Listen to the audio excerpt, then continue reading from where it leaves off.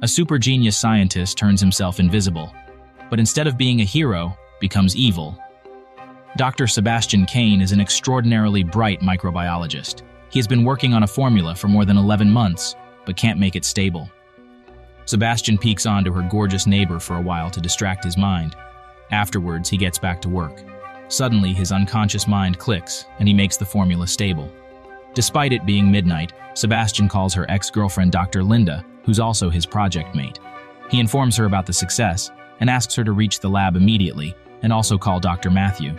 Sebastian doesn't know Linda is romantically involved with Matthew, and they are already living together. Matthew is also shocked at Sebastian's success and believes that Linda should tell him about their relationship. However, Linda doesn't want the awkwardness among the project members, especially during a crucial moment right now. The next morning, Sebastian reaches the lab, which is built underground with high security measures. Matthew is already at the lab and checks on lab animals. Some of the cages seem empty, but they aren't. They hold the animals which were subjected to the experiment of turning a living being invisible. The biggest animal that went through the procedure is a gorilla named Isabel. Matthew wears thermography goggles to see her and tries giving her an injection. Isabel gets scared and attacks Matthew. Afterwards, she runs out of the cage. Sebastian reaches there too and takes down the gorilla with a single shot of tranquilizer gun. She has been invisible for days, and it's affecting her temper. But Isabel's suffering is going to end soon as Sebastian has already discovered the reversion serum. Sarah, the famous veterinarian, stops Sebastian to test the serum directly on the poor gorilla. But he doesn't listen. He's in charge of the project, and the other team members have to listen to him. The lab is prepared, and the invisible gorilla is tied to the stretcher. The lab technicians Frank and Janice look after the computer results while Carter, the medical technician, assists the doctors. The serum is prepared and Sebastian injects it with his own hands. It flows through Isabel's invisible veins and spreads around his body. The gorilla's organs start to reappear at first, but then the homeostasis levels fluctuate. The blood pressure drops and the heart best becomes negligible. The doctors start giving the gorilla CPR and electric shocks and she finally comes back to life. Her body completely becomes visible and she feels calm again. After the successful experiment, the team goes out to celebrate. Sebastian walks away from the dinner table and Linda goes to check on him. He starts recalling the time when they were together and asks Linda if she ever wished to turn back time. But she has no such desire and is separated from Sebastian for good. Not every girl can stand beside an intellectual like Sebastian. After a few days, Sebastian, Linda, and Matthew present their progress in front of the military officers who gave them the project. Sebastian lies that the reversion serum is still under progress and asks for more time. The project head Dr. Howard Kramer admires Sebastian's dedication and intelligent work so far, but he's running out of patience. If Sebastian doesn't succeed soon, he'll be removed from the project.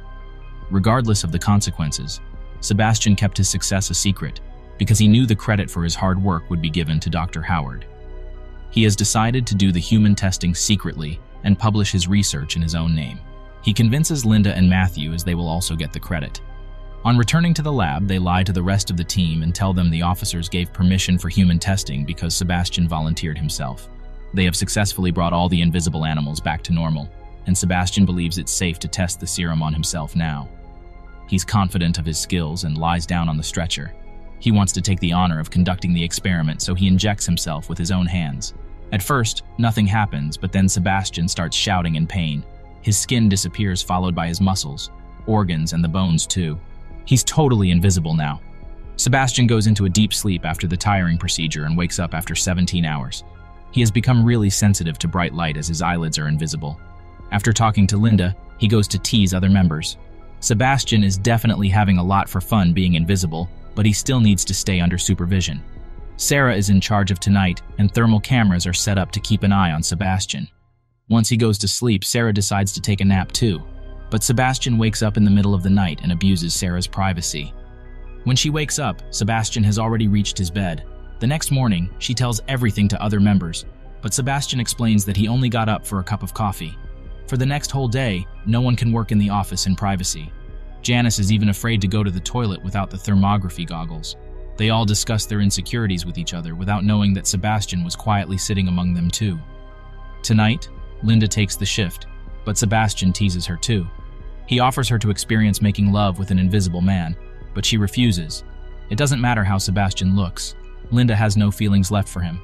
The next morning, the team prepares to do the reversion procedure. Sebastian has been invisible for three days, and it's time to complete the experiment with the reversion serum. As soon as they inject the serum, Sebastian's body rejects it and starts to behave abnormally. His heartbeat and oxygen levels drop. He can't breathe anymore. The team starts to perform emergency procedures on him and makes it heartbeating again. However, Sebastian is still invisible. As he's going to be staying like this for a while, the team has to take some action.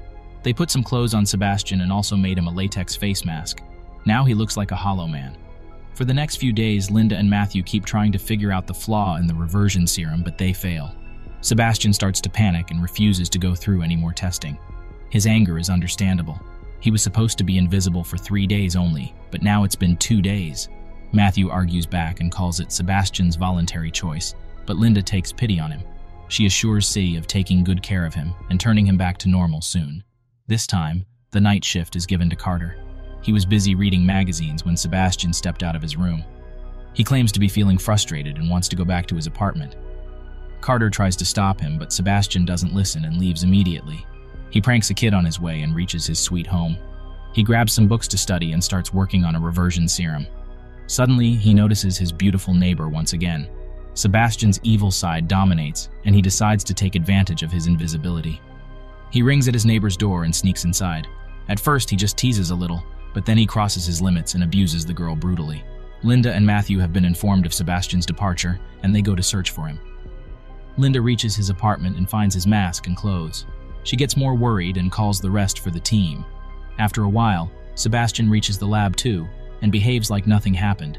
He believes that he's the leader of the project and can make his own rules. Linda gets angry and warns him not to escape the lab ever again, otherwise, she'll tell everything to the authorities. Sebastian gets back to his lab room, but the team gathers around Linda and asks why she joined Sebastian in his careless lie. If the authorities find out, their career will end. They also believe that the invisibility serum is affecting Sebastian's brain as he's been under its influence for so long. Meanwhile, Sebastian is mentally stable and does all the cruel things out of his own evil instincts. Linda is so scared of Sebastian that she can't peacefully sleep at night and dream about Sebastian breaking into her room. Matthew wakes her up with a call and informs about his progress with the serum. Instead of using molecular structure, he has decided to use a different approach. The next day, they test the formula in the lab, but it stops the formation at 95%. Sebastian starts cursing and blaming them again for not finding a solution. He also calls Linda narrow-minded who's not even letting him enjoy his invisibility. Linda advises him to understand the seriousness of the situation and admires progress so far. She believes that Sebastian is jealous because Matthew found a second approach that Sebastian couldn't. He's not frustrated about not having a life of his own. Actually, he's jealous of Linda having a healthy relationship with Matthew. Saying this, Linda leaves while giving the charge to Frank. Sebastian explores the thermal camera closely and gets a naughty idea. He takes some tools from the lab and hacks the camera to continuously play the same footage of him sleeping. Afterward, he gets out and reaches Linda's house. His blood boils on seeing his love with another man and he throws a stone at her window. Linda gets up to look around and even calls Frank, but he assures that Sebastian is lying on his bed. After returning to the lab, Sebastian notices the dog barking continuously. Without a second thought, he takes the life of the poor animal. The next morning, Sarah finds the dead dog and asks Sebastian about it, but he acts like he doesn't know anything. Linda checks the footage, but there's nothing in there, so she checks the cameras too and finds the bug. Sebastian has been going out every night and kept doing unknown evil stuff. Things have gotten out of hand, so Linda decides to inform the authorities who will catch Sebastian somehow. But Sebastian hears this conversation and follows Linda and Matthew to Dr. Howard's house. He agrees to handle the situation and proceeds to inform HTG the other officers. His call doesn't go through regardless of several attempts. Suddenly, he notices some suspicious activity near his swimming pool and goes to check it. Sebastian takes this chance to push Howard in the water and drown him to death. Afterward, he quietly returns to the lab and greets his mates. Linda can't stand his presence anymore and calls Dr. Howard. After hearing about his sudden death, Linda dials other officers, but the phones stop working. They decide to go to authorities by themselves, but the elevator keeps denying their passwords. Frank checks the system and reveals that Sebastian has removed everyone's access from the security system.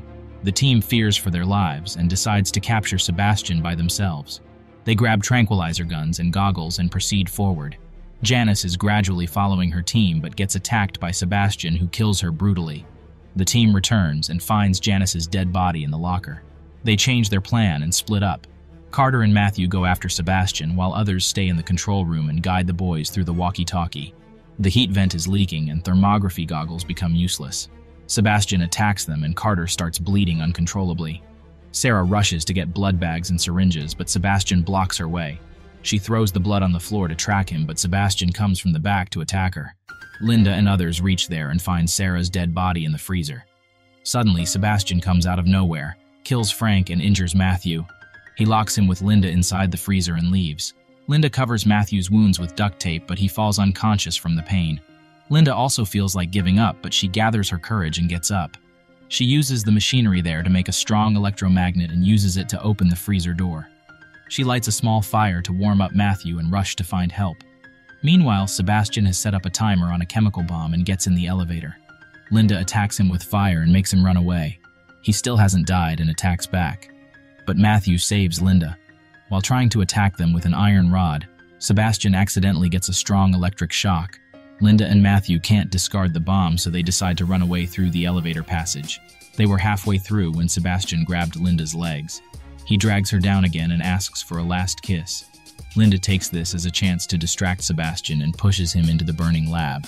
While she grabs on Matthew and gets out of the lab, science might be full of wonders, but it can be dangerous too if it gets in the wrong hands.